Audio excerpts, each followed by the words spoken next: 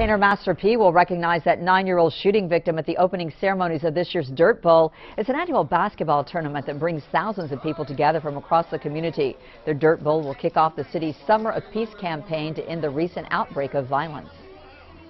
It's a lot of different guys from different areas of town that's been having a lot of, uh, should I say, misunderstandings toward one another. We're trying to curb all that violence, right?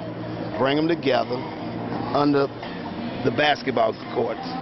Dozens gathered at the Hard Rock Cafe to sign up for teams. If you'd like to play and did not get a chance to sign up, call 664-0780.